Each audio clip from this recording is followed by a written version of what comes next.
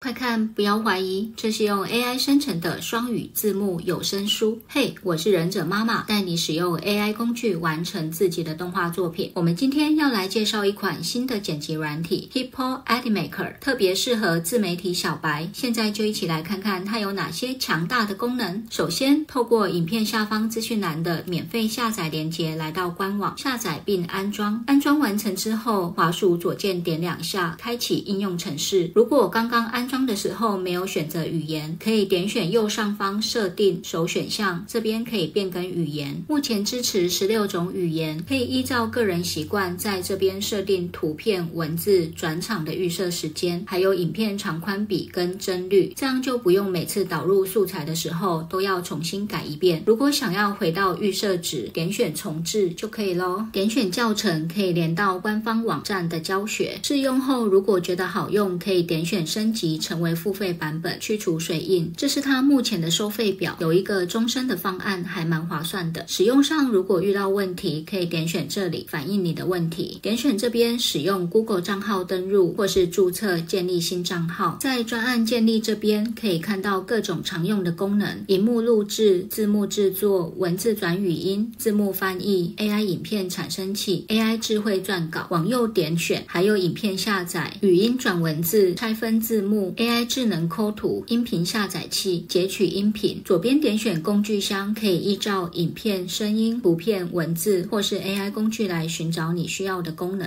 进入主画面，我们快速带一下界面操作及功能。左上角媒体档案，我的媒体从这边上传自己的档案或是录制内容，还可以透过连接下载档案做编辑。例如我之前上传到自己 YouTube 频道的影片，电脑挂了找不到档案，就可以从这边直接贴上影。片连接下载自己之前的影片，再编辑成短影音。背景这边可以选择实色、动画、风景、艺术性。现在做自媒体最怕的就是踩到版权的雷。好不容易辛苦制作完成影片，突然被宣告版权、丧失利润或影片下架，是最令人讨厌的事。Hippo Animaker 可以直接搜寻三大素材库的资料，资料来源非常明确，操作方便，不用一直切换视窗，可以帮我们节省很多时。间再来声音的部分有很多音乐及音效可以做选择，可以汇入自己的档案做音频分离，也可以透过连接下载影片音频。例如我开了一个新的播客节目，想要将我之前上传 YouTube 的影片转成声音档并重新剪接，我就可以透过这个方式来完成。文字的部分除了有很多现成样式可以选择之外，还有很多组合好的模板可以用，只要修改内容就可以喽。而且有些还有动动画效。果想要做一点微调也可以哦，这边可以批次克制化你的文字，直接输入你要的文字，各种效果的动态文字一次生成，一目了然，直接比较，可以更直觉式的选择哦。有没有很像古代皇帝在选妃子呢？不想写稿的话，最后这里还有 AI 智慧撰稿的功能，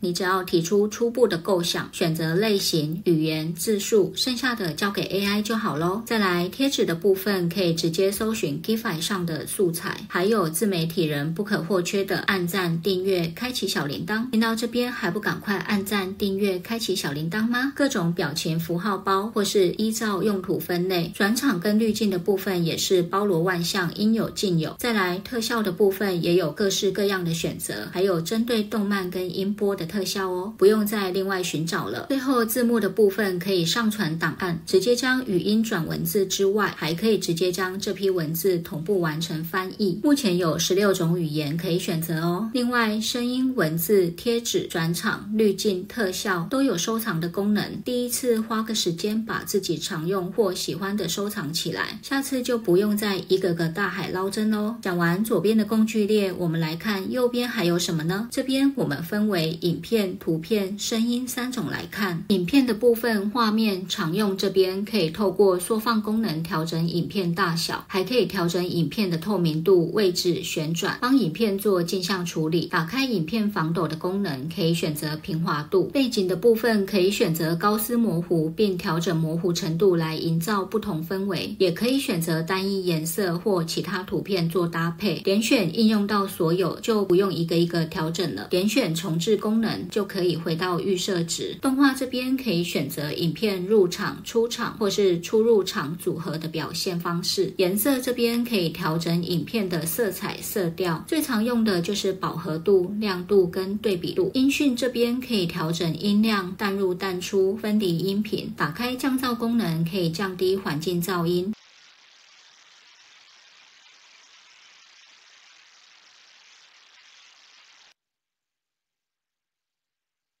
最后还可以做变声及语音转文字。变速这边可以改变影片的速度，可以选择均匀变速或是曲线变速。均匀变速这边可以透过调整速度或是指定时间来操作。如果你的影片有旁白，记得要勾选保持原声的功能，这样变速之后听起来才不会很奇怪。曲线变速的部分可以选择现有模板，也可以自定义，透过滑鼠直接拉就可以喽。最下面一样有保持原声的功能能。可以勾选，中间这边最常用的就是冻结帧、裁剪、平移缩放和上下左右近摄的功能。冻结帧就是定格的意思，可以从影片截取某帧为图片来编排。选择裁剪可以依照固定长宽比裁切画面或自由剪裁。透过平移缩放的功能，设定镜头的起始帧和结束帧，产生运镜的效果。以图片来看，画面常用这边跟影片的功能一样，可以调整图片大小、透明。度、位置、旋转做镜像处理，背景部分的选择也一样。AI 工具这边还可以做图像抠图及增强画质，动画跟颜色的功能也是跟影片一样。再来声音档的部分，音讯跟变速的功能和影片一样。接下来我们就用这个工具来带大家制作一本双语字幕儿童绘本有声书。打开 Hippo Animaker，选择 AI 影片产生器，输入故事旁白。如果没有自己的故事，也可以运用。AI 智慧撰稿来帮忙，选择类型、语言、字数，提供简单的想法就可以喽。然后点选下一步，它这边会自动将文稿分镜，点选分镜旁边的加号，上传自己的素材，或是选择自动匹配。如果想要一路偷懒到底，最下面还有一个全部自动匹配的按钮。一个分镜可以上传多个素材，自动匹配还可以点进去做编辑，可以点选合成预览来观看，选择影片长宽比、AI 配音、字幕样式。是以及背景音乐，没问题的话，右下角按导出就可以咯。如果想要细修，可以点选高级编辑进入主画面。接下来，我们将准备好的绘本图片一一上传，选择 AI 配音、字幕样式、背景音乐，然后按高级编辑进入主画面。在编辑轨道上可以看到字幕、图片、背景音乐和 AI 朗读的音轨。我觉得它的音乐前面空白太久，会让观众误以为耳机或喇叭坏掉，就可以点。选剪刀或 Ctrl 加 B，将不要的部分直接剪掉，然后将所有素材对齐。这边可以依照操作需求放大或缩小画面。另外，我觉得每一页中间停顿太久了，我们一样透过剪辑来调整，把空白的部分剪掉，然后对齐。背景音乐的部分可以调整淡入淡出以及音量，不要让背景音乐的声音盖掉朗读的声音。我们来加一个封面，选择纯黑色背景，选择文字模板修。修改文字内容，这边还可以调整文字的设计。它最特别的是可以调整阴影的角度，设计弹性蛮大的。加入转场，制造翻页效果。加入滤镜，变成黑白文青。右上角还可以调整滤镜强度。加入特效，调整速度及不透明度。最后用 Gify 的动态文字做成片尾。右上角按绘出，最高可以绘出 4K 的高解析度影片。我们的中文儿童绘本有声书就完成喽。记得点选左上角。的档案保存专案，下次想编辑的时候就可以继续使用喽。但在国际化的网络时代，只做一种语言，是不是太可惜了呢？那要怎么做成双语字幕有声书呢？首先，依照刚刚的步骤，绘出不含字幕的影片档，画面可以选择摆中间或旁边，开启一个新专案，汇入影片档，点选字幕、语音转文字，选择想要翻译的语言。这边目前有多达十六种语文任你选，然后选择开始试。识别就可以喽。时间轴上就会出现我们的主影片，上面有中文跟英文两种字幕。选取所有英文字幕，右上角选择文字转语音，选择声音开始转换。哦哦，但是转出来都没有对齐，该怎么办呢？中英文的声音长度本来就不一样，选择音频，右上角调整音频的速度，让它的时间与画面一致。注意一定要记得勾选保持原声，调速后的声音就不会变得很奇怪喽。我们的双语字幕有声书就完成喽。有两种语言字幕及音频，两种语言的字幕都可以保留，但声音就要分别汇出喽。虽然耳朵有两个，但也无法一次听两种语言吧。最后，我们一起来看看成品效果如何。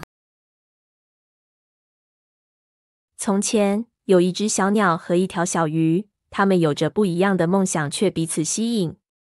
一天，小鸟在旅途中因为口渴来到湖边喝水，遇见了小鱼。小鱼在鱼群中是个弱势，总是希望自己能变得强大。看到会飞的小鸟，小鱼非常羡慕，希望自己也能翱翔在天空。鱼群的同伴们却总是嘲笑小鱼的梦想。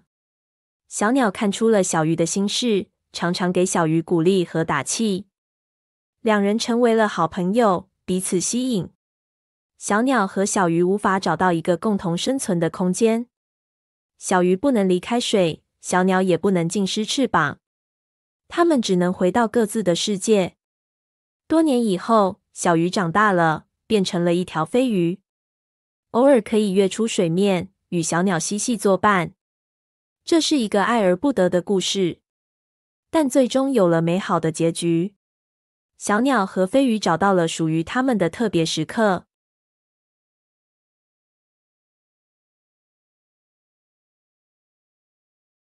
Once upon a time, there was a small bird and a little fish. They had different dreams but were attracted to each other. One day, a little bird on a journey came to the lake to drink water, where it met a little fish. In a school of fish, a small fish is always hoping to become powerful. The small fish envy the birds that can fly, longing to soar in the sky themselves. The companions of the school of fish always mock the dreams of the little fish. The little bird could tell what was on the little fish's mind, often offering encouragement and support. The two became good friends, attracted to each other. The little bird and the little fish could not find a common space for survival. A small fish cannot leave the water, just as a bird cannot neglect its wings. They can only return to their own worlds. Years later, the small fish grew up and turned into a flying fish. Occasionally, it can leap out of the water and play with small birds as companions. This is a love story that cannot be achieved.